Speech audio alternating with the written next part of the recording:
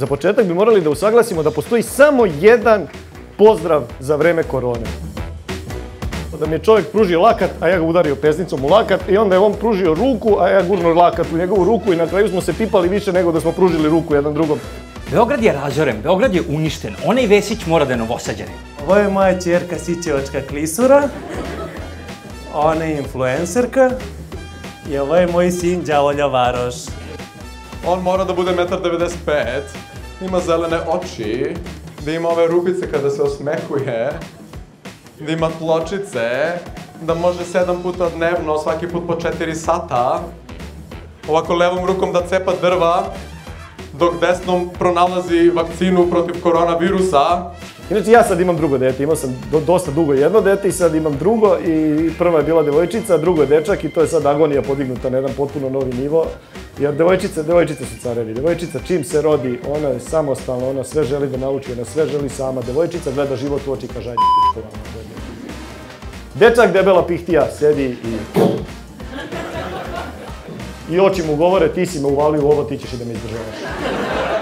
Od danas sam tvoja briga, ti ubaci ovde, ja ću ovde da izbacim. To, to, je, to ne očekuj previše od mene. Niti ga šta zanima, niti šta zna. Kad ga pitaš gde pametna glava, pokaže na sestru. Dakle. Hvala vam, hvala, hvala. Dobrodošli na Stand Up Fest 2020. Dobroveče vama u Ben Akibi, dobroveče svima koji nas gledate preko televizije Nova S. Deset godina slavimo organizacija Stand Up RS i odlučili smo da kažemo koroni nećeš proći i da ne samo da nastupamo, nego nastupamo i na dva mesta, i uživo i na televiziji. Tako da ako ste gledali Muppet Show, ja sam Kermit, to nešto na početku najavi da će biti zabavno, kaže a i nestane, tako da krećemo. Ti si tvorac iz Stand Up RS. Molim da. te, kaži mi par reči o tome. Jao Bože, znači, ovaj... ne, Dobro, vrlo, vrlo, vrlo rado, znaš, ono, ne znamo da, trebalo bi nam par dana, možemo da odemo negde ovaj, u spa, da ti da. pričam, ovaj, kako se zove, ali da me neko masira u isto vreme. Ovaj, pa nije, nije teško, nije teško, ali nije ni lako u svakom slučaju. Mislim, nije teško nama zato što volimo komediju, mi stvarno onako baš obožavamo stand-up, volimo komediju, volimo autorstvo, volimo e, da smo nezavisni, znaš, to nas ovaj, loži sve i onda zbog toga to funkcioniše, inače je to mnogo teško uraditi u Srbiji, naravno, pošto ovde nažalost, ovaj, sve malo teže nego negde drugde. A i ne postoji scena, mi smo je napravili, tako da sad možemo da živimo da, s njom. Sad u duh ove, ove situacije i rade na sebi, kakve su ti dalje misije, vizije i ciljevi u vezi sa, sa ovaj, uh, stand-up prsa? Pa, ja bih volela da ostanemo onakvi kakvi smo uvek i bili, a to je da zaista radimo na, na originalnosti, da, da radimo, da, da, da bolje da duže radimo na nečemu i da dobijemo originalan projekat, nego da nekako štancujemo i pravimo od toga mm, nešto što je manje kvalitetno. Mislim, to je naš cilj. E sad, naravno, kvalitet je možda najteža stvar ovaj, da, da se održava i tako,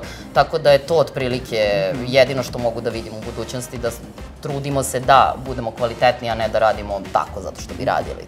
Ono što je meni privuklo pažnju, a verujem da, da i većini će da privuče pažnju, je to što si ti prodrila na svetsko tržište sa stand-upom. I tu se spominju i Velika Britanija i, mislim, i naši komšije, Hrvati, Slovenci i tako dalje, Makedonci koji će i večeras da se priključe. Jave, da. E, tako je, da se jave. E, kaži mi kako si uspela u tome, kakvi su bili tvoji koraci, koliko je uopšte taj prodor uh, trajao i kakve su ti iskustva? Pa, znaš kako, mi smo svi odrasli ovaj, na, na stand-upu koji je zapravo potekao iz Britanije i u Americi dostigao svoj neki, da kažem, produkcijani vrhunac, tako da je naravno bilo logično da se povežemo sa njima, znaš, ali, ali u suštini ovaj, krenulo je sve tako što je region već e, imao neke e, početke svoje i mi smo se svi povezali. Bilo je jako lepo jer smo bili kao neki SFRJ varijanta ovaj, gde, gde smo se našli na, na stand-up komedi sceni, mislim, bukvalno, a sve ostalo je bilo u haosu. Tako da, ovaj, to nama recimo bilo jako zanimljivo, ali ja mislim da, da e, autori moraju da se upoznaju sa drugima. Ja mislim da uh, autori moraju da putuju, moraju da vide neke stvari, tako da je to obezbeđeno negde našim komičarima uh, i mislim da im je dosta pomoglo i to je dosta važno, da se vidi ko šta radi, gde radi, zašto radi i onda ti neki utice mogu da budu ono, dragoceni. Ne može se samo sedeti baš u svom mestu i znati sve o kulturi, nije to baš tako. Dobro, hvala ti Milice, ja želim da ti ovo uspe i da ti uspeva i da se to penje tamo Ajde, nadamo žele- se, evo, ovaj pas, nadam se da se nije mnogo smorio, Da. treba da ide napolje. Tako. Bela se ne odvaja od tebe, niti Da. od nje i Pa tako. tako je, to je takva I situacija. ona je duhovita. Važi, ništa, uživajte večeras u svakom Naravno. slučaju. Ajde. Iva Nikolić. Ćao. Ovi se smeju iza, izvini, ne mogu da uradim najavu jer sam ovde okružena komičarima, šta da Pa, radim u to je takvom sam strašno, okruženju. Nadam se svi se osjećaju sa mnom. Molim te, kaži mi nešto o, sebi. Pa, Evo, bavim se ovim 8 godina. Počeo sam koji većina komičara, prvo budeš onaj klinac što odvaljuje forice na času, onda posle otkriješ da postoje ti neki ljudi koji pričaju nešto smešno na sceni, ljudi im se smeju, onda otkriješ da to postoji kod nas, onda malo gledaš po YouTube-u druge komičare, pokupiš neke fazone, prijaviš se ovde za, na open mic i onda ti ovi ljudi daju priliku. I prosto. Kakvi su ti planovi uh, u stand-up komediji? Planovi su slava i novac, kao i sve, da. To, to je, uglavnom ima od stand-upa. Da, šta. originalno, da. Čula sam da ti imaš pametan humor neki, tako A to sam, to sam i ja čuo, ovaj, ne znam tačno šta znači pametan humor, tako da izgleda taj humor pametniji od mene, što je dosta tužno. Ali ne znam, znaš kako kažu muzičari da su njihove fore njihova deca, tako da ako su moje fore moja deca, onda i treba budu pametniji od mene. Mm, Pa, sledstveno tome, Da. da. A, crni humor isto ti je jača strana. Jeste, volim crni humor, dosta se pronalazim u tome. To nećete videti sad u nastupu, zato što smo na televiziji, ali ko hoće da me vidi u tom možda najboljem izdanju, trebalo bi da dođe na veče crnog humora ovde u Benakibi i to će biti onda super. Dobro, super. Šta ovaj, preporučuješ za mlade ovako koji bi volili da se bave komedijom, stand-upom u stvari? Mladi koji se bave komedijom, pa trebalo bi da dođu ovde kod nas na, na open mic, da ih srđan upropasti totalno i bit će to sve okej. Kako predviđaš budućnost ovog festivala? Pa ovo je, pazi, jubilarni festival 10. i, i poseban je po mnogo tome, po tome š- što se ovo sve izdešavalo, što je na televiziji. Ne znam kako će biti sledeći festival, ono, ne znam, održavat će se u nekom krateru, imaćemo zombije za, za publiku i mutante, što je dosta, kapiram, organizacijski pakao, treba odvojiš zombije s jedne strane, mutante, onda mi moramo pazimo šta pričamo, se neko od njih ne uredi, znaš, politička korektnost i to. Jasno. Ne znam koliko ćeš dobro prođeš kod zombija, s obzirom da oni vole mozak. U, vrhunska forica. Vrhunska forica si planirala da se baviš stand-upom kad ti novinarstvo ne ja sam samo iščitala ono što si mi ti pročitao. Hvala ti. E, izvini, uh, hal- da, okej, da, idem, idem, hvala. Ćao, Srećno. hvala.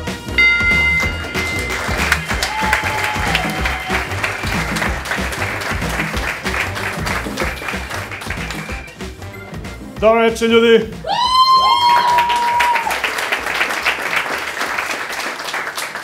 Večer došli na naš festival. Kako ste?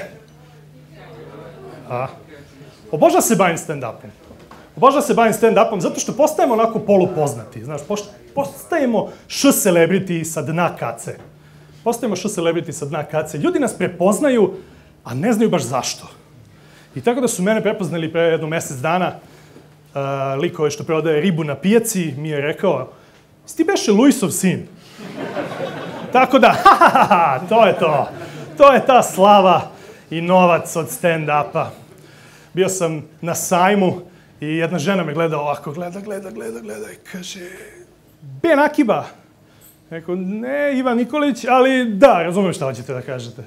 Vi mislite da se ja zezam i da sam obe ove situacije izmislio i sa ribarem i sa ovom ženom? Ne, sve se to tačno tako, tako desilo. Ali dobro, besplatna riba, snalazim se kako mogu, šta da vam kažem. Tako da, to je to. Ne znam da ste primetili, ali Beograd je pun malih belih pasa. Jel smo primetili to? Da, jel ima, da, jel tako? Ajmo jednim aplauzom, vidim ko ima malo belog golance kod kuće, da vas čujem da jeste. Tako je, da. Pune, ne. Mislim, ono, svi kad izađete sa svojim malim belim golancima, ja mislim pao sneg, znači niste normalni, potpuno ste. Uh, I moja devojka isto ima malo belo golance, ne znam šta je ono, bišon, maltezer, nešto od tih. I to ima dva moda, ili e, skače i liže, ili laje i grize, znaš. A pas je okej. Pas je.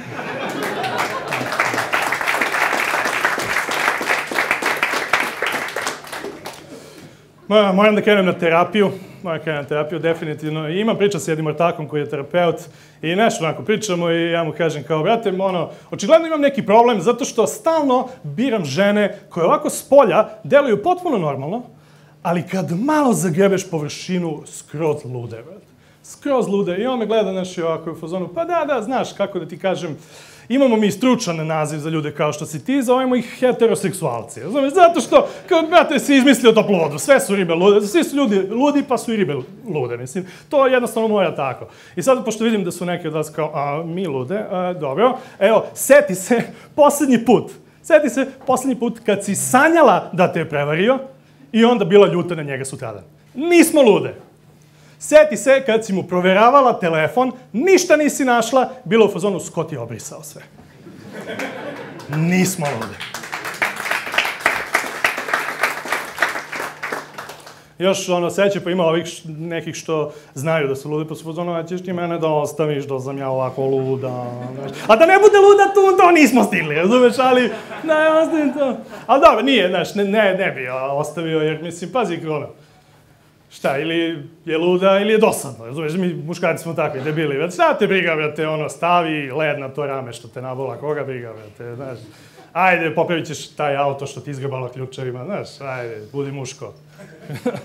Jer, mislim, šta je alternativa, znaš, kao, nema ti devojku, znaš, ljudi kažu da imaš najveću slobodu kad nemaš devojku, a to nije istina, ništa nije dalje od istine. Najveću slobodu imaš kad imaš devojku. I to ne pričam po pitanju varanja, ne u tom smislu, nego pazi, evo, zamisli situaciju, Sediš negde i tu je neka riba i nešto krene da priča, da lupeta najveće gluposti koje si čuo ikada.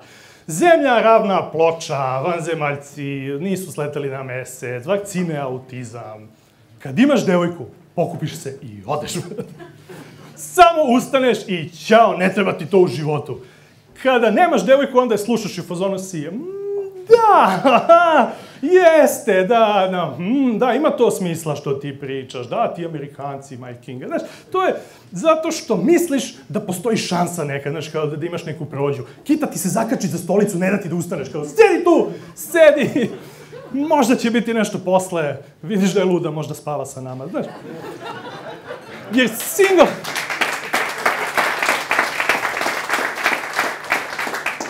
Znaš, single muškarci i su jadni, razumeš, to je, bazi, mi smo u stanju da odemo u gej klub i da budemo u fazonu, pa možda je konobarica straight, razumeš, to je popuni idioti smo mi. Raskidi. Raskidi su zeznuti, imam drugara jednog, raskinuo je sad sa devojkom i raskinuli su zbog razlike u godinama, po njemu su bili tri godine u vezi, po njoj godinu i po dana. Tako da, Pazi, ne, ono, svi smo znali za to, varala ga je sa kim god je stigla i mislim, više je bilo glupo na kraju. Znači, ono, ja, meni je najbolji ortak, ja sam u fazonu, brate, ali kako ti nije glupo da budeš sa ribom koja te vara sa najboljim ortakom? Pa daj malo, malo samo dostojanstvo.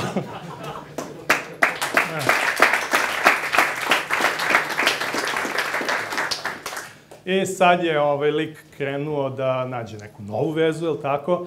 I sad se sve vrti oko toga, pošto on ne može ovako, nema socijalne veštine, uh, hoće da ide online. Znaš, nije baš za Tinder, nije dotle došao, kao online bi probao nešto, ali se boji, uh, kaže, brate, kako ja da znam da je sa te druge strane stvarno žena? Eko, to je bar lako, samo pitaj ko je Ryan Gosling. Kaže on, ko? Upravo tako. samo pitaš ko je Ryan, kako kaže ko, ideš log off. I to je to. Zato što nijedan muškarac ne zna ko je Ryan Gosling. Znači, osim, ne znam, verovatno Rana Goslinga. to je to. Jedan e, čovek u publici na jednom nastupu mi je rekao, e, znam ja ko je Ryan Gosling, to je Deadpool. Rekao, ne, brate, to je Ryan Reynolds. Upravo si dokazao moju teoriju da ni jedan muškarac ne zna ko je Ryan Gosling. Imam jednog drugog ordaka, uh, on hoće da se razvede, ali sad nema para da se razvede, sad je ono, to je frka. I, mislim, pazi, opet sam mu pričao kao, brate, jel ti treba baš taj papir, jer morate to, jel moraš da imaš ćagu, mislim, volite se, živite zajedno, sve vam je super, mislim, šta će ti sad još i to? Ali ne, ja sam, ja to ne razumem, on, oni se vole, to je ljubav, ja sam Scott, što to ne kapiram. I dobro, brate, šta da im radim, nek idu u Amsterdam pa nek se razvede od čoveka lepo i to je to. Da. Kažu, ovaj, kad- smo kod te teme, ge- gej teme, ovaj, da, da čovjek treba da to, kad, kad je gej, da treba prizna sebi, da to kaže sebi, da kaže svima i koristi se onaj idiom izađi iz ormana. Znači, uvijek se to kao izađite iz ormana, izađi iz ormana, izađi iz ormana. Brate, ovo je Srbija. Znaš ko se poslednji put super proveo kad je izašao iz ormana? Obrenovići. to ti se desi u Srbiji, razumeš?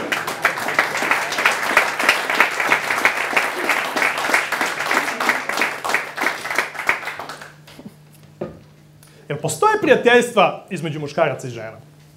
Ajde da vas čujem jednim kratkim aplauzom. Ko kaže da postoje? Ok. Ko baš i nije u tom fazonu?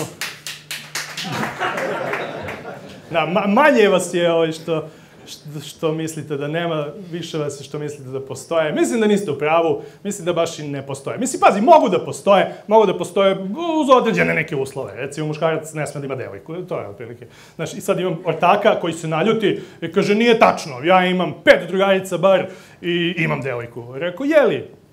Dobro. Kad si upoznao te drugarice? Pre ili pošto si upoznao svoju devojku? Kaže, pa pre. E, eto vidiš. To si uneo u vezu, to ti je miraz. Posle toga nema više novih drugarica, to ti je što ti je. Sad, od sad sve su vaše drugarice, to je stečeno u vezi, to su sve vaše drugarice. Kaže, on nije tačno, lupetaš gluposti. Rekao, dobro, ok, ja lupetam gluposti. Zovi sad svoju devojku, kaže joj, dušo, malo ću da kasnim, idem na piće sa koleginicom Sandrom sa posla. Brate, bolje bi ti bilo da Sandra ima 100 kila, jedno oko i sobstvenu devojku, ukoliko hoćeš da to izvedeš. Jer takva je situacija. Ali pazi, mislim, mi muškarci, mi smo još gori, mi smo ljubomorni na neke potpune gluposti, na neke stvari koje su se desile pre 100 godina. Ono ima retroaktivna ljubomora i to. Mislim, ono, kao budale krenemo da čačkamo u vezi. Svakoj nove vezi uzmemo i onda uzmemo da čačkamo. Po, šta je bilo pre nas? Čačkamo, čačkamo, čačkamo. I koji idioti pronađemo tog nekog lika nebitnog potpuno. I onda budale pitamo devojku za to. I još veća budala nam odgovori i kaže nam nešto tipa što si tako primitivan? Pa to je bila neka usputna, onako, neobavezna veza. I to je najgore što možete da nam kažete, da je to bila usputna, neobavezna veza. Zato što mi znamo što to znači. To znači to je bio samo seks. I ja kapiram šta vi hoćete da kažete. Vi hoćete da kažete da je to bila neka potpuno bez veze veza, a ovo sa tobom, to je ono što ja hoću, ja tebe volim, uh, volim te celog i dala sam se tebi cela. Dala sam tebi najbolji deo sebe, najgori deo sebe, cela sam tvoja.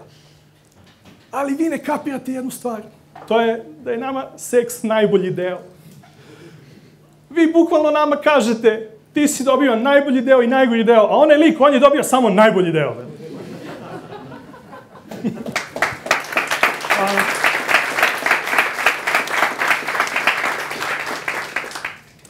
Da.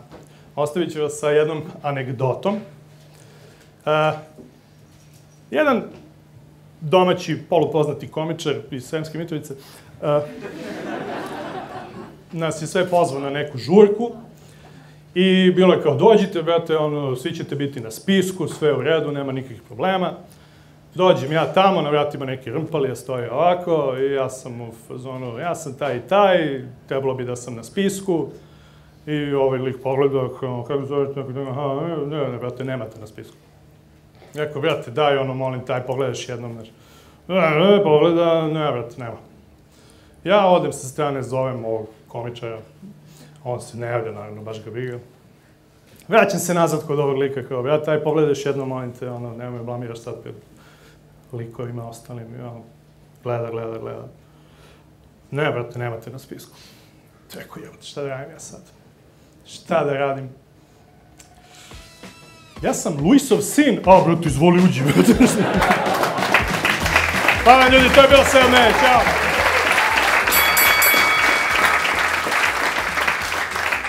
A iz Velike Britanije javlja nam se naš saradnik i prijatelj Nino Bantić koji je učestvovao u dovođenju Dilana Morana, Edi Izarda, velikih zvezda. Jedva je on neku krpu njima navuku preko glave strpu u kombi i doveo ih ovamo.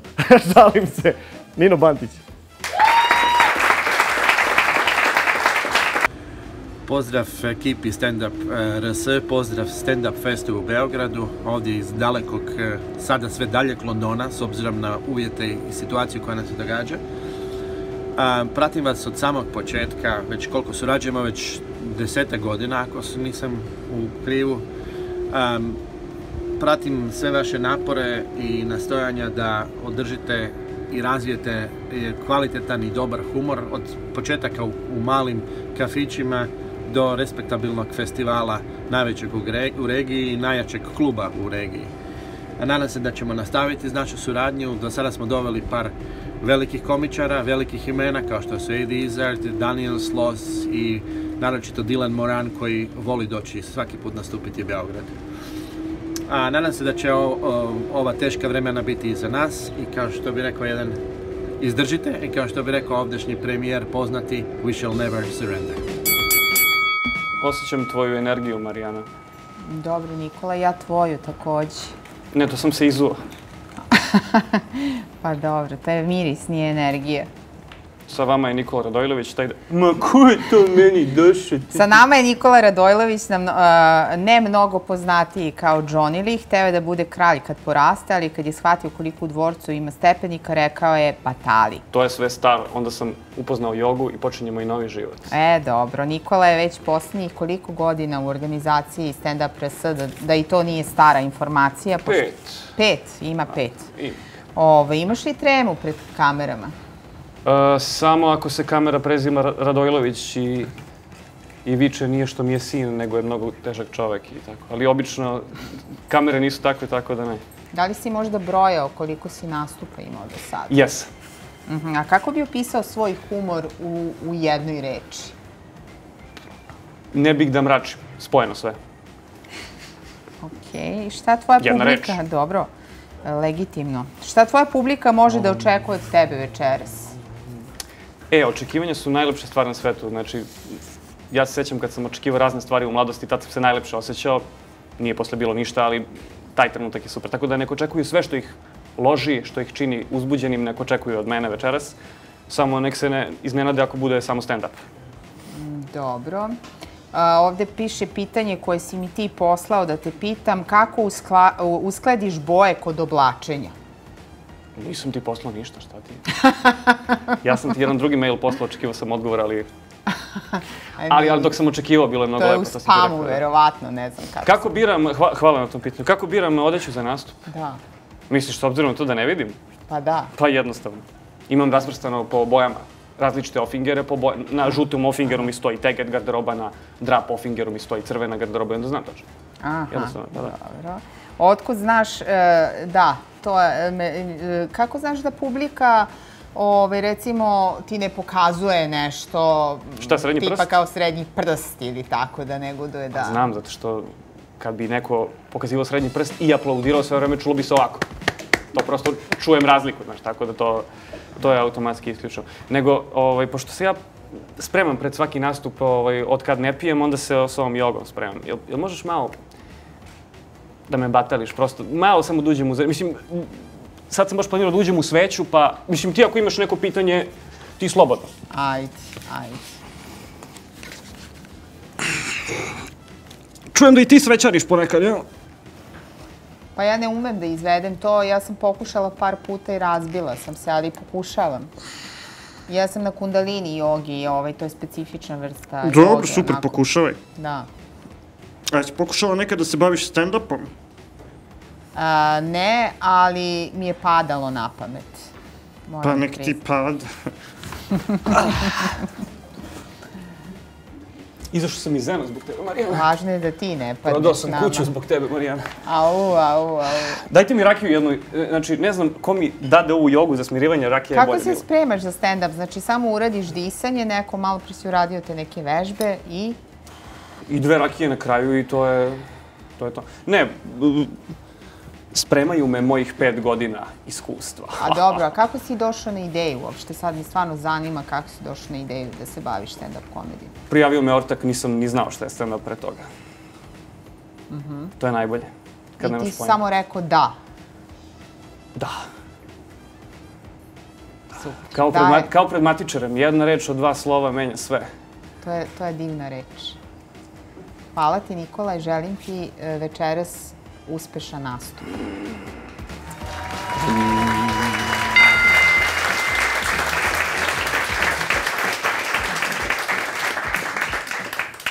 Ćao.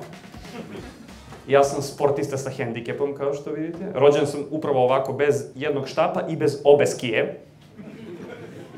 Da, realno je zapravo ovo. Nemam pojma kako vi izgledate. S druge strane, ni vi nemate pojma kako vas trenutno zamišljam. Baš ste mi seksi, da možda znate, u kožnim gaćama svi, ali neću da vam otkrivam sve detalje. I znate za onu izreku, smeju se ko lud na brašno. To vam je, neko je video scenu, video jednu urbanu scenu i nije mu ništa bilo jasno. Jer niti se taj neko smeje zato što je lud, niti se taj beli prah zove brašno. Ja sam do skoro bio, deklarisao sam se kao tolerantni nepušač. Međutim, moderna medicina mi je to zabranila, kaže, čekaj, ti blejiš sa pušačima, da, udišeš njihov dim, izvini, i ti si pušač, samo pasivni. I pa se to, znači, ne samo da nisam bolji čovek od njih što ne pušim, nego sam još i lošiji pušač. Mislim, što to znači ako, evo recimo, moja majka, znači, gleda reality u, u nekoj prostoriji i ja moram da budem sa, sa njom u istoj prostoriji i šta sam ja onda, pasivna seljačina? Pozdrav za majku. Pozdrav za majku. Ne, mislim, majka, majka uvek ima prava da zove svog sina. Uvek, u svakoj situaciji mora da se javi majci. Ona je majka, ona brine. Ona je mene rodila, ona brine. A da vidiš kad sam u roamingu, kako ne brine.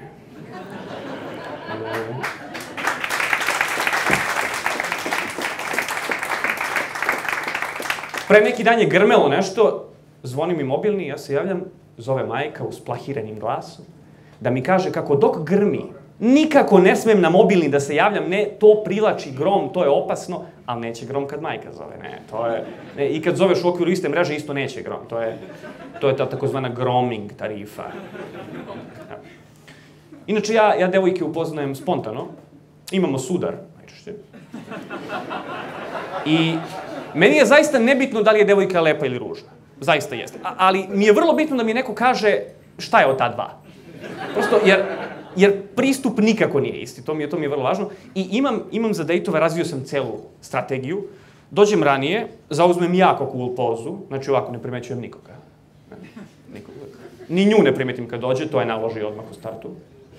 I onda je kao, je krajičkom oka, kao primeti, kao, hej, gde si? Mislim, gde si? Gde si? Gde si?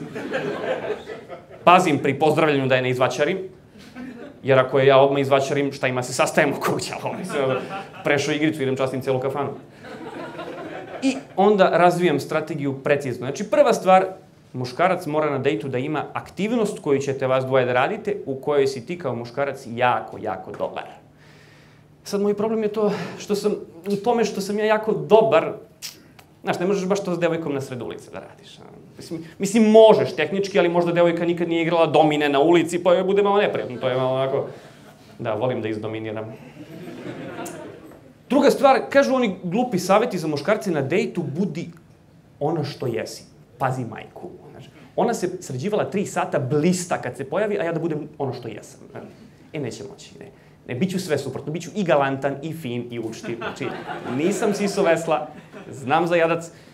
Kažu saveti, budi spontan. Šta spontan? Ja sa filozofskog istoričara, ona sa šumarskog. Šta je nju spontano da pitam? Šta je pitam? E, izvini, koji ti je omiljeni hajduk? Kako da joj priznam da je meni mali radojica?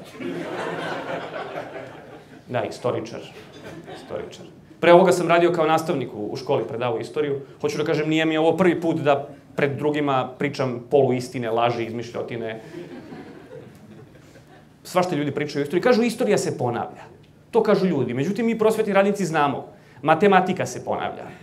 Istorija poklanja dvojku pod pretnjom direktora. To je ono što se dešava u realnosti.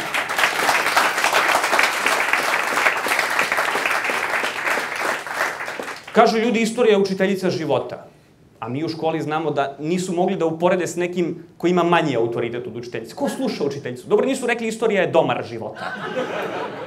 Mada ima tu i prednosti. Pazi, istorija je jedini predmet gde na času može da izbije tuča zbog nastavne teme.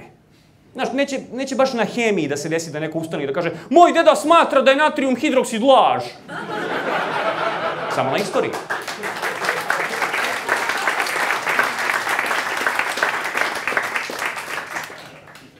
To mi je bio prvi posao u školi i dobio sam ga, moram da kažem, zahvaljujući jednom seksualnom odnosu. Menjao sam trudnicu, to hoću da kažem, mislim, svašta, svašta, svašta s vama, bože, bože. I pošto je u pitanju ugostiteljsko-turistička škola, prvo sam pitao direktora da li su deca nemirna. On kaže, pa nisu mnogo, hoće malo da budu nestašni kad nastavnik ne gleda, inače su super. Rekao, pa super. Za početak super.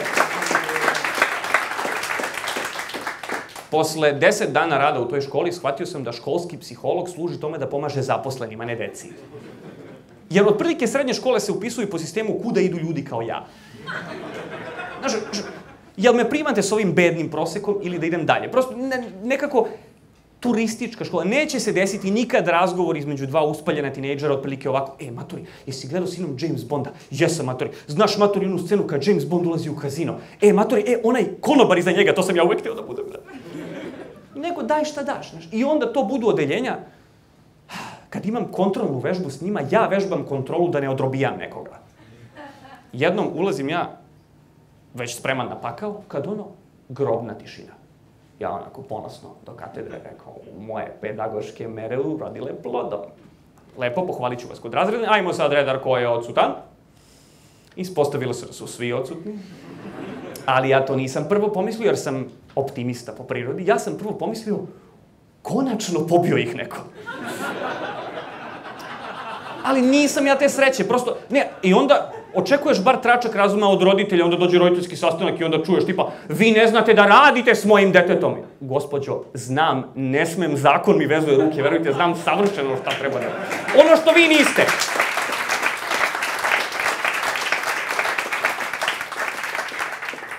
Onda klinke, to bre nisu više ni klinke, 15-16 godina puca ih pubertet, pa krenu da provociraju. Nastavniče, mogu da vam odgovaram za trojku? Već dugo mi odgovaraš za trojku. A koga čekamo?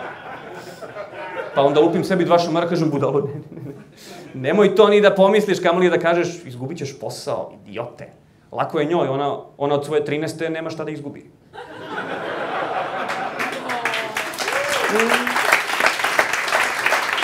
A znam s kim imam posla, što da kažem. Tako da sam ja jedan nezaposleni istoričar. I sva porodična okupljanja mi padnu jako teško, jer ja kao nezaposlena osoba odem tamo da jedem obilno za džabe. Svi ostali dođu da se napiju i da pričaju o politici. Krenu o politici, ja se već onako šćućurim, i onda neka baba ustane i kaže, pa kad već pričamo o politici, imamo ovde mastera istorije. Rekao, idi bre baba, dođe vlaga. Taman sam se kamuflirao. Znači, to je poslednje što mi treba Ja kad dođem na skup neki kažem, ljudi, ja sam završio istoriju i svi se primaju, ah, jao, vi ste, ja, pa to je divno, ja volim drugi svetski rat, kažete mi, molim vas, da li Hitler... Ne, ne, niste me shvatili, ja sam završio, razumete, gotovo je, nema više, gotovo je. Da ste došli prošle godine, ali gotovo je. Gotovo. Međutim, uvek ima jedna ta admin baba, čija je jedina funkcija da tu grupu ljudi gde se našla organizuje kao funkcionalnu zajednicu. Znaš, ako udare Nemci, evo baba zna, imamo ovde mastera istorije, imamo pravnika, imamo doktora. Ne? I, I onda odjednom sva pažnja bude na meni. Šta ću ja da kažem o tome što oni baljezgaju? Ja kažem, ljudi, ja sam prosvetni radnik, pa neprijatno mi je, nisam navikao da me slušaju dok pričam. Šta sad treba, treba i da pazim šta pričam, ne ide. A onda me motivišu da ipak progovorim, jer bolje ja da pričam nego slušam, tipa ovaj jedan mi se nagne onako mrta pije, kaže, znaš ti istoričar da su dinosaurusi bili Srbi? Onda ovaj još pijaniji od njega kaže, nije tačno, oni vode poreklo od Srba. I...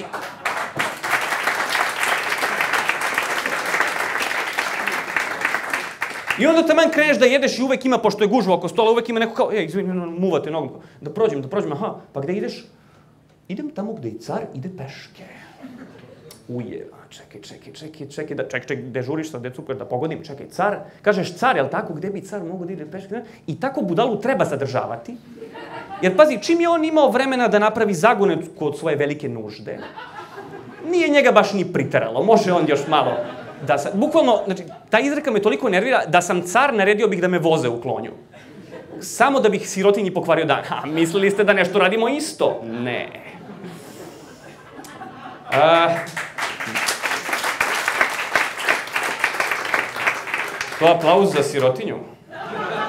Preneću im. Ja inače volim puno da putujem i da upoznajem razne egzotične kulture.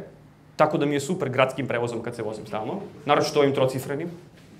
Zaista, ona, kad uđeš u pun autobus, sve što imaš na sebi, kad uneseš, to nije više samo tvoje dok si unutra. Nekako, sve je nekako zadružno. Prosto uvedeš dete u autobus, ju što slatko dete, pa daj da sedne dete, pa to postane autobusko dete. Je. Meni uvek ustanu u autobusu, zaista ne mogu da kažem. Uvek mi ustanu. Doduše, ne kažu mi uvek da su ustali, ali dobro, to je sad... Mo, možda tražim previše. Ali volim da slušam decu u autobusu. Deca ispale ono što im je prvo na pameti, prosto to je tako iskreno, to je lepo. Devojčica neka pored mene, mama, mama, šta će ovom čiki štap? Sine, čika ne vidi. Mama, mama, mama, a onda ovaj čika invalid. Ja tu poludim, rekao, slušaj mala, to ti tati svom da kažeš da je čika, znaš? Za tvoju informaciju 32 samo, 32. Ali ja sam amatorio zaista. Ja sam nekad, baš iznenadio, znači, sedim, sedim u busu, čujem iz, iza mene dva klinca nekog pričaju, valjda ovo jedan drugom pokazuje neke fotke. Kaže ovo jedan, matori, vidi kakva je, matori, 2002. godište, matori, vidi kakva je 2002. Ja se mislim, 2002. godište, dobro izgleda, pa vidi to ako je dizel, kupuj odmah matori, nema, nema, nema da se razmišljaš. Da, znači mator. Znači mator definitivno. Ali dobro, postao sam tolerantniji, počeo sam se borim za ljudska prava i hoću da vam kažem nešto, pa imali vi protiv ili ne. Ja se zalažem za to da gej parovima treba dozvoliti da usvajaju decu. Zato što, kao što ste čuli, radio sam sa decom, posmatram ih intenzivno i mogu da vam kažem, nema tu više šta da se upropasti. Znaš, samo je ostalo do toga hoćemo li učiniti gej parovima ili ne. Prosto do dece vi- više nije. Nekako, ako mi gej parovima to pravo ne damo sada, za 10 godina oni neće hteti. Bukvalno za 10 godina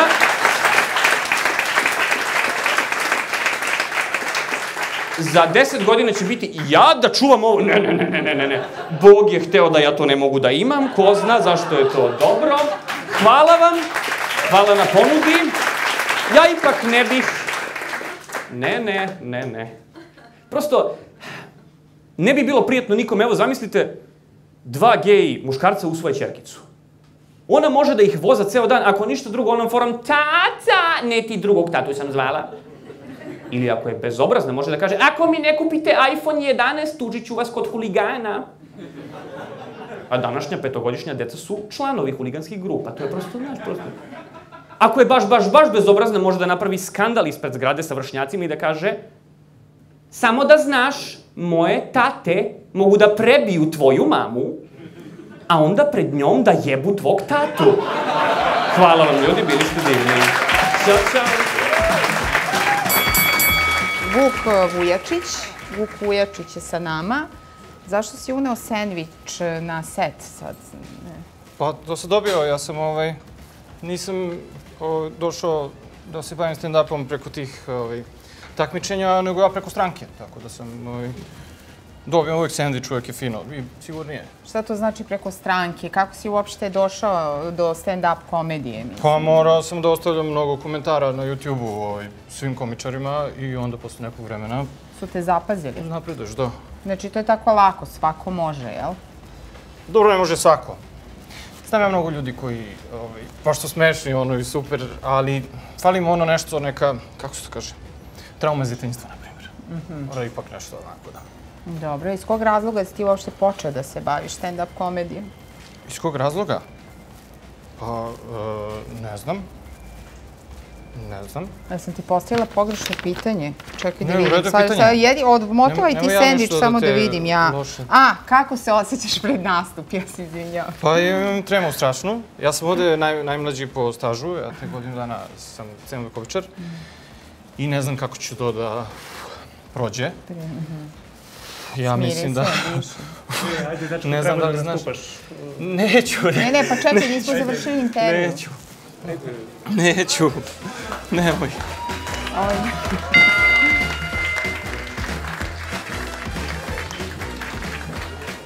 Zdravo. Ja sam Vuk. Izvinite, imam malo tremu. Ali sad kad razmislim, to je ništa prema tome kakvu tremu imam kad treba pričam sa svojim stanodavcem. Mislim, to je stanodavac iz pakla, ono, ne da mi nikoga da dovodim u stan, provodi vreme tamo kad ja nisam tamo. I rešio sam tome da stavim na put, e, skupio sam hrabrost, sazvao sam sastanak i rekao sam, mama, ovako više ne može. I to je dobro prošlo. Sad sam se odvojio, imam svoju sobu, nisam više u dnevnoj. Ali kako da vam objasnim kakva je to žena? Ona toliko zabada nos meni u život da... Sećam se kad sam našao prvu devojku, šta sam imao, 30 godina, ono? I ovaj, majka uždala da mi priča šta da radim u seksu, šta nikako da ne radim u seksu. Ja rekao, mama, molim te, prestani. I izađi iz sobe, vidiš koliko je devojci neprijatno. Sad ovaj, sam je vozio za Crnu Goru i pre toga rekao, jao, pola dana sa njom u kolima, kako će to da bude haos. Ali zapravo je dobro prošlo.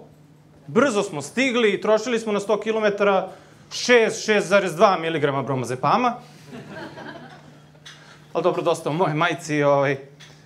Ova korona, meni je to nešto sumnjivo.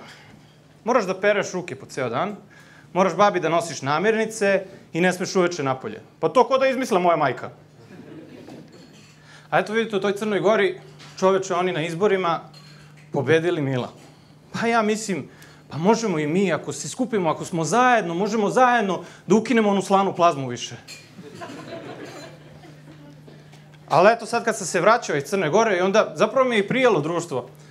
I rekao kako ću sad sam i uključio onaj GPS. Pa rekao malo kao neka simulacija nekog društva. I ona žena kaže za 200 metara skrenite levo. Ja sam nešto zamislio i ovaj, produžim i rekao jao šta će sad da kaže ono kako mi je majka bila na grbači. Kad ovaj GPS kaže preračunavam desno pa desno desno i onda ste opet na... Pa kako to? Ako su već stavili glas ljudski, što nisu mogli da naprave da bude kao prava žena? Pa onda ti kad promašiš, ona kaže skreni levo, ti promašiš, ona kaže znala sam.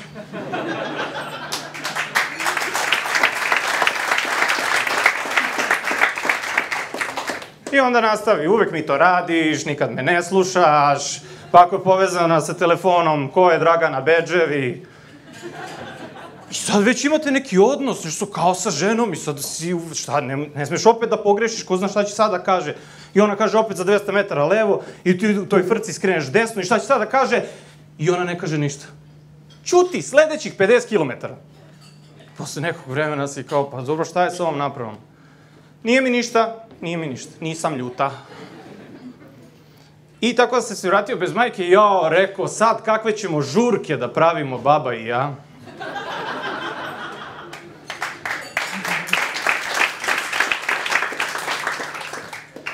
Baba je sad u tim godinama, ponaša se kao tinejdžerka darkerka. Samo blene u ekran, oblači se u crno i priča kako bi bilo bolje da je nema.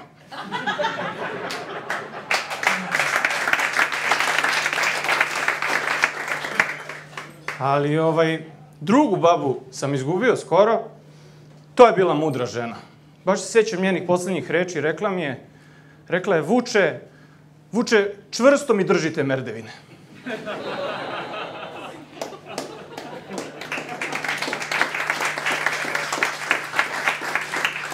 Najviše mi je žao što nije stigla da upozna Srđana Dinčića. Ovaj, ali ova prva baba, stalno se svađamo, pošto babi je televizor ispravo mozak, mislim, svađamo se najviše oko politike. Najviše oko Vučića. Mislim, ne znam šta taj čovjek njoj smeta. Ide po kući, dere se Vučiću pederu i uh, priča kako je u njeno vreme bilo mnogo bolje, kako mi ne znamo ništa da radimo po kući. I on rekao, pa babu plaća Đilas, čoveč. Pita naravno i kad ću da se ženim. u babim očima, babinim očima ja sam neki ono zavodnik šmeker. Što je to smešno?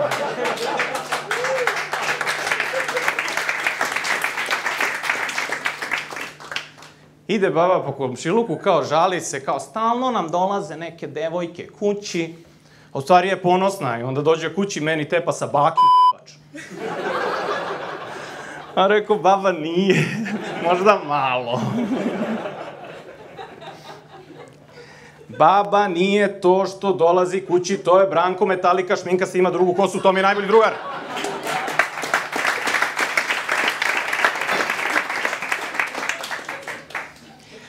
A, ali tražim sada devojku, čuj mene majku, devojku. A, I čim pomislim na neku vezu, odmah pomislim i na raskid. Mislim, raskid, raskid je težak čak i za onoga ko inicira raskid, a kamoli za mene, mislim. Zato što to je neko koga si volela a i ne želiš, želiš da to prođe što bezbolnije, a sad će mu rođendan, ne možeš pred rođendan da ga ostaviš. Pa onda posle će Nova godina, pa Sveti Sava, pa ili uplatite letovanje, ili opet počne korona, sve u svemu, ima jedan dan u septembru kad možeš nekog da ostaviš, i ako ne uspeš, moraš čekaš još godinu dana. Ovaj, a sad sve moje vršnjakinje su ili udate ili su antivakserke. Ali eto, zamišljam, ako nađem, upoznam devojku, pa izađemo par sastanaka, pa smo onda zajedno, pa se verimo, pa treba da imamo prvi seks. To me dosta brine, zato što tu može da pođe svašta napad. Imaju neki muški i ženski delovi koji se uklapaju, ali nije to tako jednostavno. To mora pod posebnim uglom. Po... Ja sam u seksu kao moja baba kad treba da šije nešto. Da mi ono konac i iglu i kaže samo ti pogodi rupu, ja posle mogu.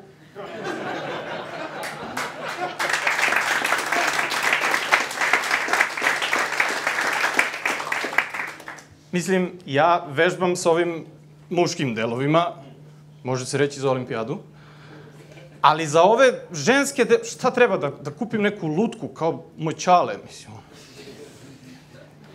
Zato što ja krenem, ja krenem onako misionarski, kako me majka savjetovala, i sad tu, tu ti je onako osoba, a moraš da, ovaj, tu dok tih 50 minuta namestiš, moraš nekako da, da je zabaviš i onda si u fazonu... Inače, kako su tvoji? Majka voli onu aroniju što smo poslali? Ako ti je to komplikovano, onda ignorišeš sve, samo se skoncentrišeš na situaciju. Jebala te da ti jebala i ko je izmisli. Ali onda u tom trenutku vidiš ju u očima da razmišlja, ja ostavit ću te samo da dođe 19. septembar, gotov si. A, ja volim, volim one žene koje su malo lude. Mislim, ne lude kao i ja, ovako zbunjeni lemur na antibioticima. Nego lude onako, svakodnevno lude, znaš, izgovaraju one stvari kao, e, to, to što sam ja tebe ostavila ne znači da nismo zajedno, ili tako. One cure koje ono, da je najezda zombija ide i da je kažeš, e, beži, idu zombi, e, kao in tonom mi se to obraćaš ajde ovamo, ovamo da se sakrijemo da nam ne pojedu mozak. E, uvek radimo ono što ti hoćeš. Ali malo je teško komunicirati s njima, ali te su bolje u krevetu. Razumeš, ona, ono, džipa, vrišti, dere se Kosovo je Srbija.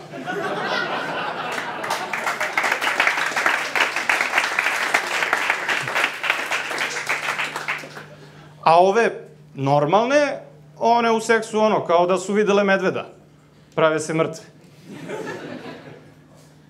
A, I zato treba uvek, tokom seksa muškarci, da vam ja dam savet, držiš za vrat devojku. Zato što ove, koje su malo šašave, ona tek tad se napali kad je malo stisneš, razumeš. A ove druge držiš čisto da vidiš da li dišu još uvek.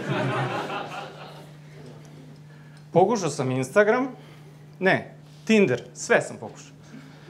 Ne znam da li ima neko sa Tindera, ne vidim od maske ovde. Ali Tinder je razlog što sam počeo da se bavim komedijom, pošto sam upoznao Rašu iz Kruševca, pa me on ovde doveo.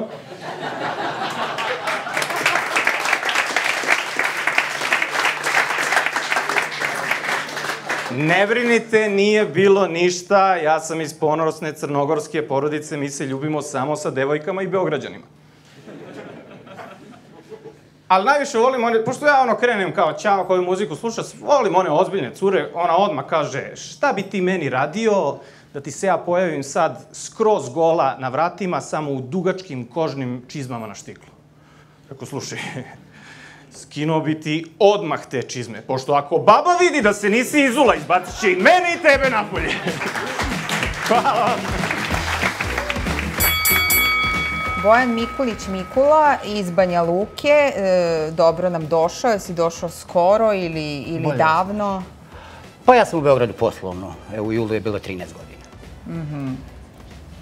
Uh, ja sam mislio da je ti ovo onako spontano, tipa ti meni kažeš, kaži nam nešto o sebi. Pa ja onda kažem, ja sam absolvent na katedri za njemački jezik u Banja Luci već 15 godina.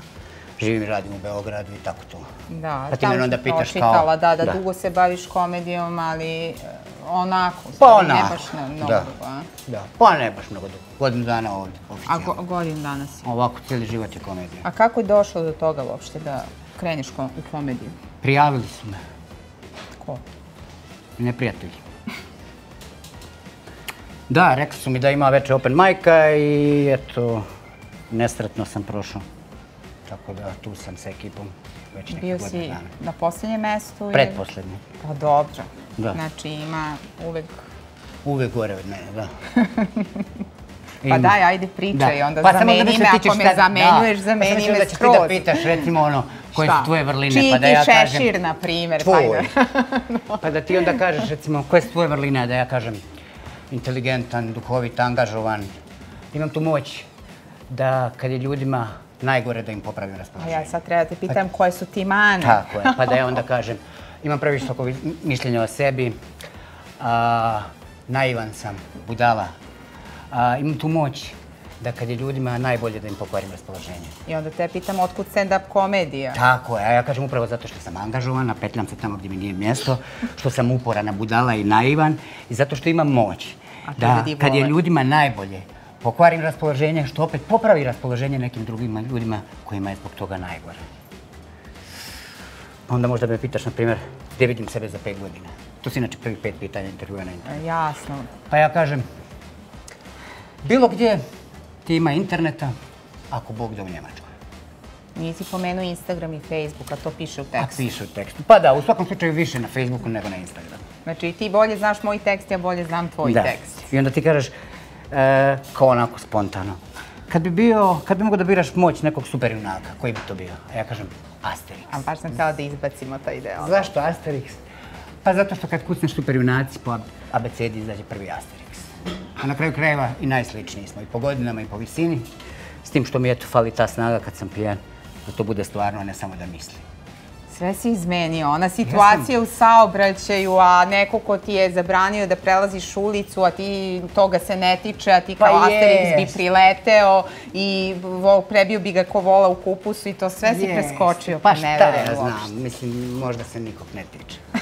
Pa samo da eto. Ajde, želim ti uspešan nastup. Hvala lijepo. Hvala tebi.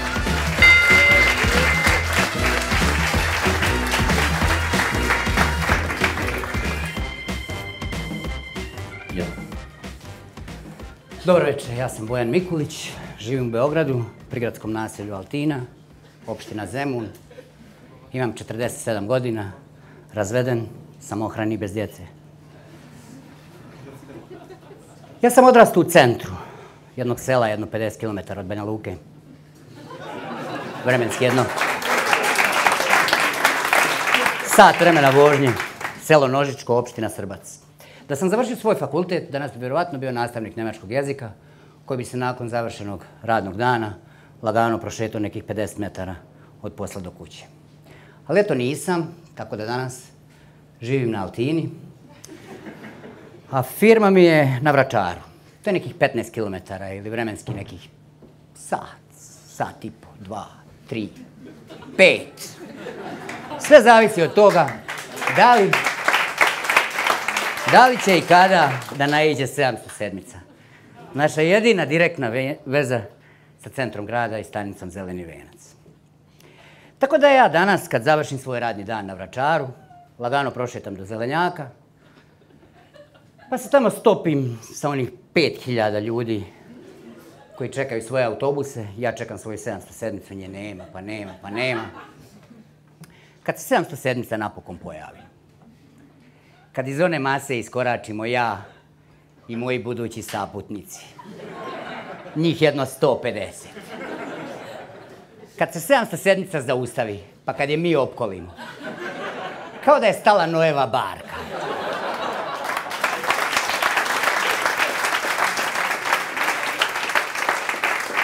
Svak u glavi ima jasno razrađen plan kako da se dokopa sjedišta. Čeka se samo da majstor uradi ono ps. Majstor. starac Fočo od stotinu ljeta. Nije Noe, ali nije puno ni mlađi. Upravo taj moment kad majstor uradi pst je najbitniji moment. Taj moment određuje da li ti je dan uspio ili nije. Znači svako onaj koji se u Beogradskom gradskom prevozu dokopa mjesta kod prozora, može da smatra da je za taj dan dovoljno postigao.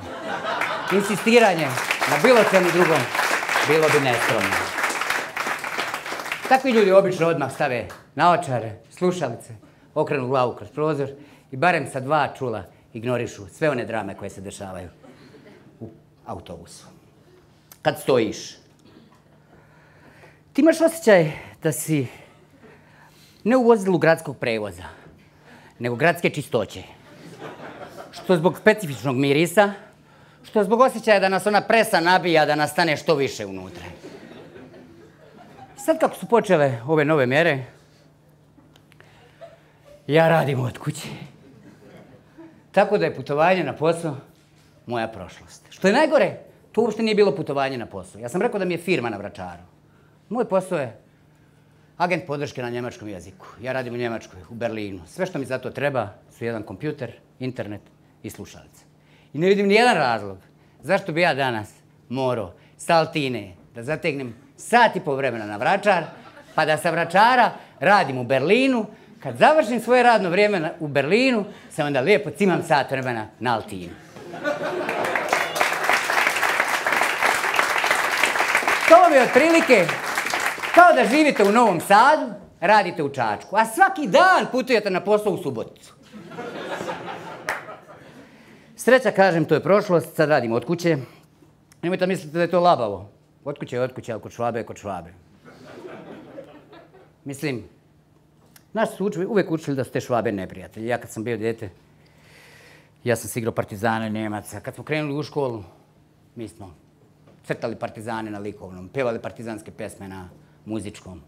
Imali predmet koji se zove odbrana i zaštita. Sve nekako bilo u znaku rata. Onog rata, od 41. do 45. Kad je došao red na vojsku, počeo je rat. Pravi rat. Koji sam ja naravno spremno dočekao. Pa sam vojsku služio u Minhenu kao dezerter. Tamo su me dočekali italijani, pa sam paralelno sa njemačkim učio italijanski jezik. Usko sam specijalizovao italijansku gastronomiju i njemačku arhitekturu. Prvo sam pravosuđe u jednoj pizzeriji, poslije sam nosio vreće na baušteli. Kad sam naučio jezik, onda sam tražio neke poslove gdje se jezik tražio. Proveo sam u Minhenu nekih lijepih šest godina, poslije tog sam se vratio kući. I onda sam upisao njemački jezik i književnost, kao drugi jezik izabrao italijanski. Došao sam skoro do kraja, ali su me čudni putevi gospodnji evo doveli u Beograd. Situacija trenutno izgleda ovako. 47 godina, razveden, bez djece. Što bi se reklo, ponos predaka. Kad sam se ja rodio, moj djed je imao 46 godina. Kad se moj otac rodio, i njegov djed je imao 46 godina. Pogađa se, pogađate, ova igra se zove Pronađi uljeza. Tom logikom, ja sam danas trebao da budem, budem nečiji djed, a nisam. Pa ali nisam ničija ni baba, a mogao sam da budem. Šta da sam se ja jednog momenta izjasnio da bi bilo bolje da sam žena? Ima ljudi koji to jednostavno preseku.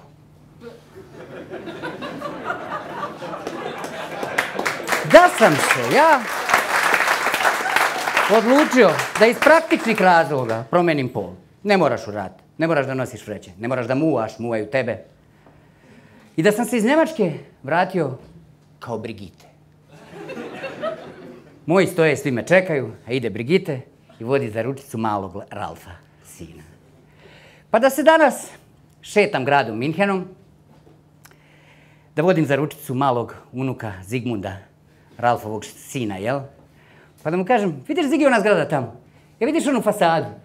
To je baba radila kad je bila momak.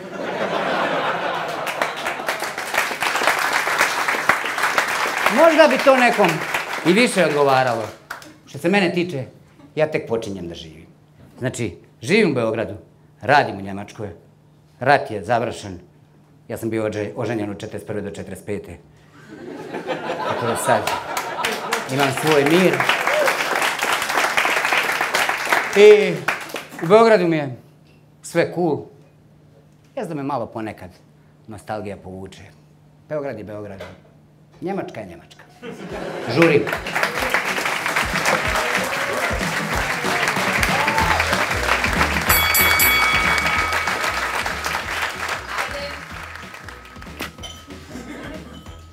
Od uvek sam želeo da vodim Euroviziju, ali ovo je najbliže što ću tome prići. Javlja nam se koleginica iz Hrvatske da čujemo što ima da kaže. Pa bok, draga srpska publiko, nismo se vidjeli 100 godina, COVID nas bre zavadi opet da ne možemo prolaziti granice i ne možemo se opet smijati zajedno. Uglavnom, e, čestitam vam 10 godina stand-up.rs i stand-up festa i stand-up comedy scene u Srbiji. Neizmjerno mi je žao što ne mogu biti fizički tamo s vama, smijati se s vama, nasmijavati vas i najbitnije osjetiti vašu predivnu energiju. I oprostite, zaboravila sam staviti maskicu, jer znate kako kažu naše vlade, kad su Hrvati i Srbi u pitanju, COVID prolazi preko video snimka, tako da, eto, tu je zaštita, proslavite ovo najbolje što možete sa fenomenalnim komičarima standup.rs, a mi se vidimo prvom prilikom. Volim vas sve, pusa. Jelena Radanović je 2011. godine bila na prvom open micu, na pet minuta došla i, što se kaže, razvalila. Da, evo, ostala devet godina. Oni pokušavaju da me sreše, jednom su me oterali na dve godine, ali ja sam se vratila. Što kaže moja baba, teško sam na pozdravu, tako da... Aha, znači da ti je lepo ovdje? E, pa lepo mi je zato što sam shvatila da sam mnogo lepša kad stojim i onda ko što da ovaj, ne ostanem u toj profesiji. Mhm, Pa kakvi su ti planovi za dalje? Imaš ideju da još negde stojiš? E, imam ideju, ja bih voljela, ali ti moraš da mi pomogneš. Pošto znaš ove ljude sa televizije, ja bih voljela da vodim vremensku prognozu. Mhm. E, do- dobro, to je dosta zahtevno, mora baš dosta da se vežba. Pa da pazi, znaš. ja vežbam. Ja vežbam. Svaki put kad me pitaju nešto za nastup, ja se trudim da ispričam kao vremensku prognozu. Tipa, Jelena je u centralnom području Beograda grmela, znaš, trudim se da imam taj vibe. I voljela bih da u vremensku prognozu uključim i tipa modu.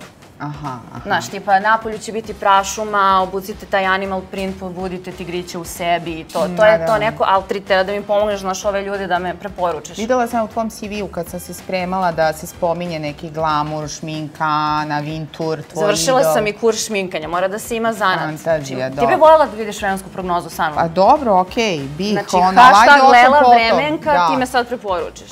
Dobro, okej, ajde vidit ćemo nešto, sredit ćemo nešto. Hvala ti. Hvala tebi.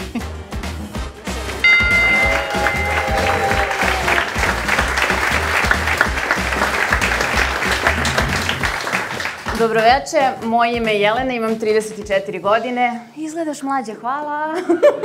to je taj aplauz, jedan lik iz publike kao saberi se. imam 34 godine i moram da podelim sa vama da nisam mislila da će ovako izgledati. I se sećate kada ste klinci i kad vidite neko ko je prešao 30, vi ste u fazonu, ovaj može i da umre. On je sada preživeo, on je mudrac, on je joda. Šta je on sve video? On je onaj starac foča od stotinu ljeta o kojem su pesme pisali, nek crkne. I onda polako kako ideš ka 30. i svi te lože kao život počinje u 30. i ne daj se. Dođeš do 30. i ništa ne počne. Svi su kao ti si svoj čovek, jeste i zato imaš sve obaveze, nema nikakvog zezanja. Ja sad imam 34 i najluđa stvar koju sam uradila jeste da sam uspela da se vidim sa sve četiri drugarice u isto vreme. I onda smo bili kod jedne na kafi i gledali koja može se savije da ne klacne kičma. Eto, to je bilo, to je bilo cijelo ludilo. Dođeš do 30-ih, niti si mudar, niti ima zezanja. I onda pogledam moje roditelje koji su mene dobili sa 26 i shvatiš da su te odgajali na blef. koji pogledaš i kao baš ste me zajebali, a jebi ga sine. Tako je bilo. I onda gledam i moje prijatelje koji sada imaju decu. Stvarno moraš prvih par godina da ih odgajaš na blef, jer ste suviše drugačije generacije. Evo sad gledam, mi, ovi klinci, oni su, kada su kreću prvi razred, kao šta je bolje, TikTok ili Instagram, šta je jače. Mi kad smo kretali u prvi razred, bilo je šta je tebi bolje, kad nema struje ili vode. I svi smo imali objašnjenje, mi smo to deca 90-ih, ono, ideš prvi razred, kreneš na ekskurziju sada, pršte selfie, Instagram story, mi smo bili u fazonu dva Tetrisa na ceo autobus. I još jedna fora koju sam shvatila kada dođeš u 30 i ti moraš da imaš sređen život, pre svega posao. Jer nas uče u Srbiji tradicionalno da čim završiš školovanje, sutradan ćeš naći posao, zaplinjaš se i ostaneš ceo život. Pogotovo ako u državnoj firmi. Meni je mama govorila, Jelena, sine, uči, završi faks, jer čim završiš faks, odmah ćeš naći posao. mama, Tito je umro. Ne znam da li su ti to javili, ali to više tako ne ide. I dobro je negde što ne ide, jer ako razmislite, ako idete tom linijom, da ćeš ti odmah posle školanja se zaposliš, To znači da si ti u osmom razredu tačno znao čime ćeš da se baviš ceo život, jer si morao da upišeš odgovarajuću srednju, posle toga odgovarajući faks, Ajde, možda i ako si upisao pogrešnu srednju, mogao si sa 17 da se izvučeš, ali ti sa 17 treba da doneseš odluku koja će uticati na ceo tvoj život, a ti si pun hormona i jedino želiš da imaš bend, a treba da odlučiš čime ćeš da se baviš. I niko ti ne pomaže. Kakva je profesionalna orijentacija u Srbiji? E, brate, šta imaš iz biologije? Pet, pa to upiši, to ti. I sad pričaju kao dovešće robote, da, kako da ne biće, šta imaš iz biologije. to će mnogo da nam pomogne. Ja sam studirala sociologiju i ne bavim se onim što sam studirala, bavim se stand-upom i to sasvim slučajno jednom sam nešto pričala i neko je rekao, jao, to ti je super, to ti je duhovito, treba da ti plate za to. Ja rekao, hvala. Sa sreće pa mi to niko nije rekao posle seksa, kao, je, to ti je dobro, treba da ti plate, hvala.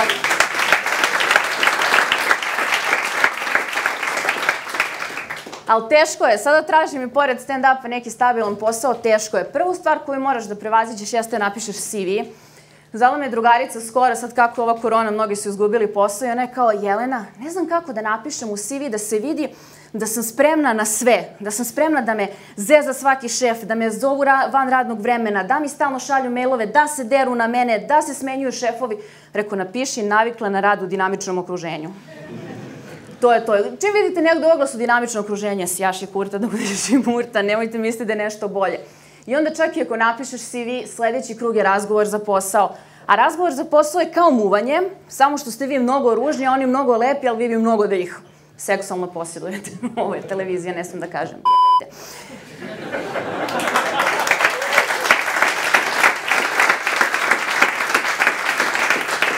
I onda moraš da se foldraš, jo, vaša firma, oh, vaša firma, ja bi vašu firmu, jo, što mi je dobra firma. I onda moraš još da kreneš da lažeš do sebe, mažeš govnima, kao, ja, ja, ja sam loš čovek, ja ne, ali kad te pitaju koja je najveća mana, ja sam perfekcionista. I mnogo radim, i mnogo radim, vi ćete hteti da zatvorite firmu, ja kao, ne, ne, ne, ja i dalje radim. Ja sam jednom toliko lagala na razgovoru za posao, nisam znala više šta da kažem i rekao, znate šta, ja kad sam bila mala i kad sam se igrala barbikama, moja barbika je radila u vašoj firmi.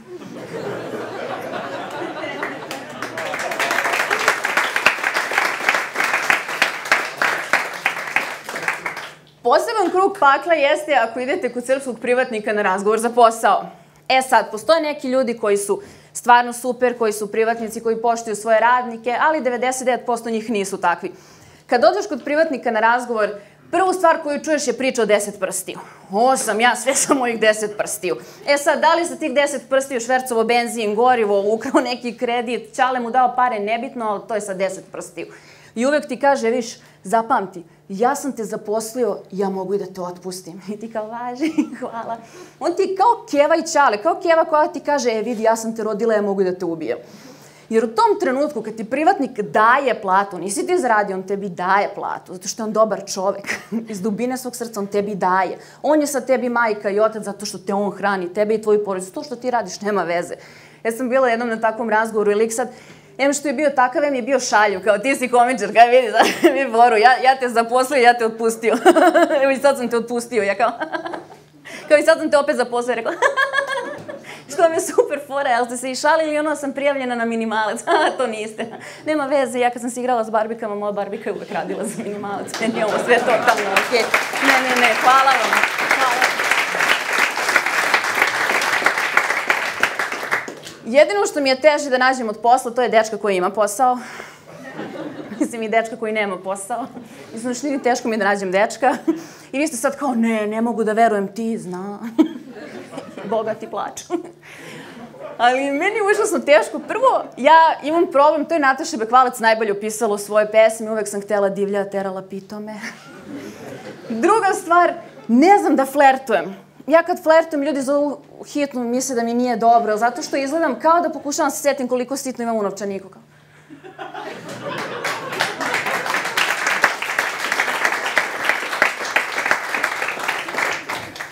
I ti likovi što izlaze sa mnom na dejt nije ni njima dobro, moram da vam kažem. Izašla sam s jednim dečkom i on kao, Jelena, ti si u problemu, ti si u velikom problemu, ja čujem tvoj biološki sat. Jel ga čuješ? Tik tok, tik tok. Jer ako ja u problemu, ti čuješ glasove si realan. I ne znam, i moji prijatelji neće da mi pomognu, ne žele da me preporuče. Kako oni mene opisuju drugim ljudima? Jelena, Jelena, nju, ona je... Aj, Jelena, si sad Jelena. Si Jelena, da li je spoznaje uopšte moguće? Nego Jelena, ona, nju moraš da upoznaš. Nju moraš da upoznaš je ono kao ružan, ružni i najružniji njega moraš da upoznaš. To je kad bukvalno ne znaš šta o nekom da kažeš, kako ne postoje reči, a ne nju moraš da upoznaš, to ludilo se ne da opisati, samo ti nju upoznaj. Naravno nikog ne upoznam. A im, moja drugarica je imala jednu odličnu stvar kojom je htela da, da me uteši. Kaže, eto, Jelena ove godine se nije išla na more, tamo bi smuvala nekog, jeste. Ko prethodne i one tamo godine. ne da sam harala Jadranskom rivijerom, nego sam bila glavni šarmer od prčnja do sutomora.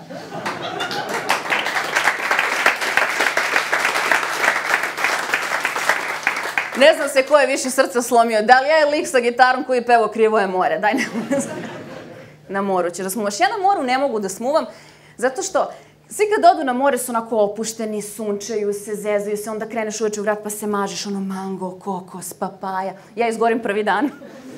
Svi idu, mirišu kao voćne salate, ja smrdim na jeku jer mi kiselo mleko. Za mnom idu dva kjera, misle znam gde je kontejner. Ova nam deluje pouzdano.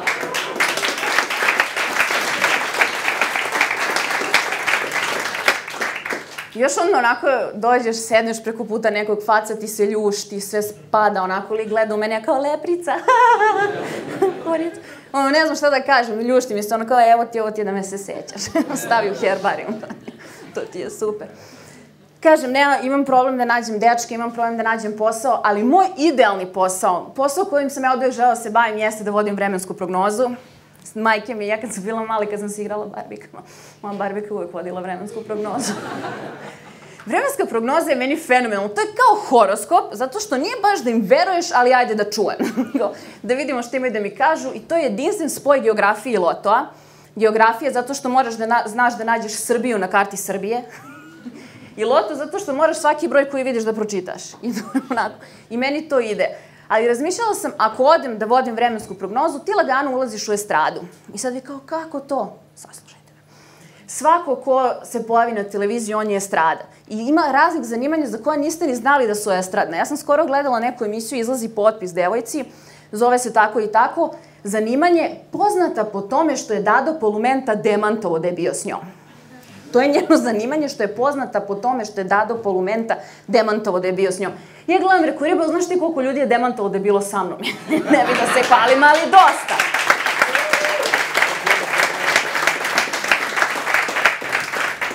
Postoji ekipa ljudi koja svakodnevno demantuje da me poznaje. ja ih zovem porodica. I onda sam razmišljala, znaš kao, ako već idem u to estradno zanimanje i hoću da vodim vremensku prognozu, moram da imam i neko cool ime. Moje ime je Jelena Radanović i to nije zvučno. I onda sam razmišljala da možda promenim ime u Srna. Srna je prelepo ime, ali ne ide sa Radanović. Znači, Srna Radanović zvuči kao tašnarska radnja, znaš, kao sponsor emisije Srna Radanović.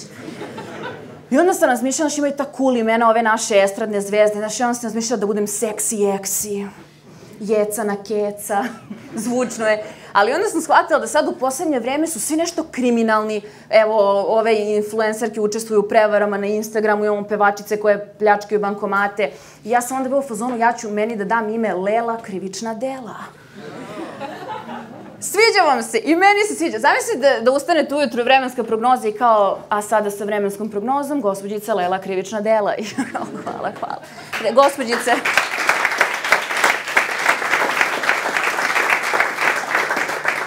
Gospodjice Dela, kako će vreme biti? Pa znate kako saznajemo iz proverenih izvora bliskih vremenskoj redakciji. Vremenska prognoza, to je lepo, to je lepo. Stvar koje se plašim jeste da ako uđemo u estradu morat ću snim pesmu. Ne znam da li ste provalili, svako ko se pojavio na televiziji, on je snimio pesmu. Evo ovaj dečko ovde je kamerom, zašto neće snimiti pesmu? Znači, bukvalno svako je snimio pesmu.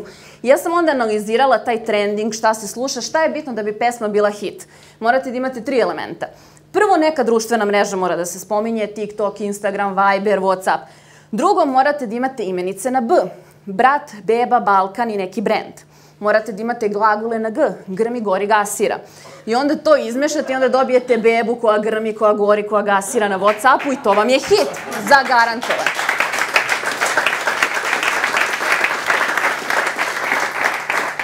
Ali ja volim te sad trenutno popularne pesme, stvarno su, meni su super uh, Džala i Buba i Brat i ta ekipa, ja njih mnogo gotivim zato što njihove pesme su doprime, doprinele savremenoj medicini, psihologiji, zato što ranije kad odete kod psihijatra, on vam po, kaže one rošahove mrlje i kao šta vidite, sad vam pusti Jalu i Bubu i kao šta čujete. Glasovi mi govore da ne mogu da sedim sa njima, jer sam stoka. I onda, još jedna prilika koja je užasno propuštena, dobra za biznis, jeste da se napravi GPS Maja Berović.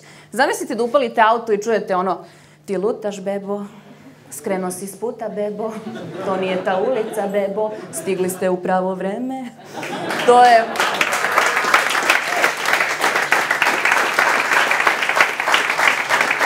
To je da neka poslovna ideja koju imam, ako je neko iskoristi, tužit ćemo ih, imamo snimljeno. Ja mnogo volim, mnogo volim sve te pesme, ali jednu stvar, i totalno, svi su kao klinci danas slušaju glupu muziku, a šta smo mi slušali? Da se ne lažemo, oči boje duge sekli vene u prvom razredu.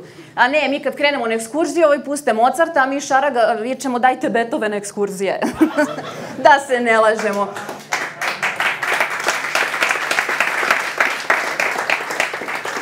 Ali od svih klinaca i svih stvari koje se dešavaju, jednu stvarno ne razumem. To su ovi diss trackovi. Ja razumem instituciju diss tracka koji postoji kod američkih repera i kod nas su neki baš dobro napisani, ali sada, ako ne znate, diss track je pesma kad vas neko naljuti, vi mu napišete pesmu zašto vas je naljutio. E, nek si mu rekao. I nije mi jasno, to sad klinci od 12-13 godina svi pišu te diss trackove. I to na sve. Naljuti ga razredno zašto je dobio keca diss track. Naljuti ga ortak diss track. Keva mu skuva Boraniju, on joj napiše diss track na Boraniju, neće ona njemu. Mogu da ga zamislim sa 12 godina dolazi kući kao Alo Kevo, kakva ti je ovo Boranija, stići će te moja armija, isprozivaću te na YouTube-u što si ovo jelo spravila, ja sam mnogo jaka faca, zar si zaboravila? To je sve od mene za večeras. Hvala.